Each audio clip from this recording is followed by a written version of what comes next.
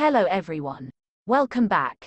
Today we'll have a throwback Thursday on The Hunger Games, Catching Fire, review director, Francis Lawrence, screenwriter Simon Beaufoy, Michael Arndt, starring Jennifer Lawrence, Josh Hutcherson, Liam Hemsworth, Woody Harrelson, Elizabeth Banks.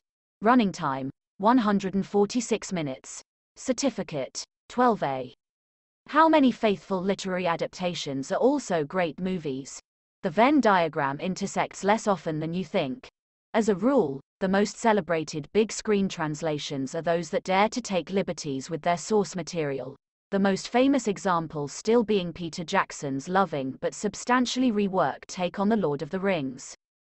For director Francis Lawrence, who takes over the reins here from The Hunger Games Gary Ross and will direct two further sequels, Catching Fire is a lose-lose scenario. Change too much from Suzanne Collins's beloved, nuanced second novel and he risks alienating a passionate fanbase. What few omissions there are have already rankled some. Change the bare minimum and he's left with a structurally problematic story of two halves. A slow burn political thriller that U-turns jarringly into wall-to-wall action set pieces for its third act. As an adaptation of Collins's Catching Fire, Lawrence's film is close to faultless. As cinema, it's solidly engaging but consistently underwhelming. That's not to say Simon Beaufoy and Michael Arndt's script isn't written with depth and clear love for its characters a circumflex euro. Jennifer Lawrence remains a compelling and grounded presence playing a newly skittish, haunted Katniss, who's struggling to adjust to a life of plenty after winning the games. Her defiant joint victory alongside Peeta, Josh Hutcherson, having sparked a revolution amongst the oppressed citizens of Panem, she becomes a target of the Capitol and in particular Donald Sutherland's creepily avuncular President Snow, a man from whom the phrase, I want us to be friends, sounds terrifying.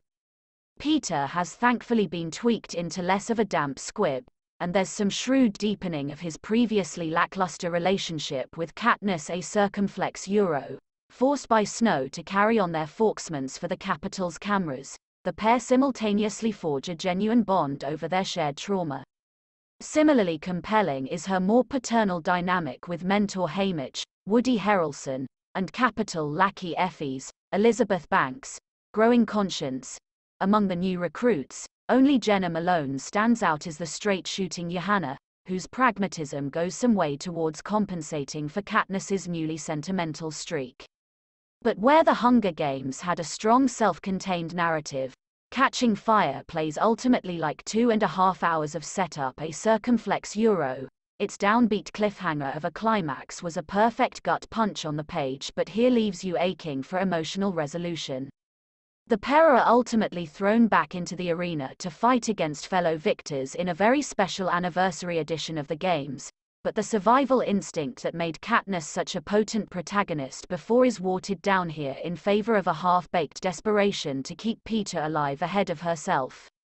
What Lawrence's direction does deliver is a physical dexterity that pays off in the third act's onslaught of assorted peril, and a visual lushness that emphasizes the importance of water throughout the story.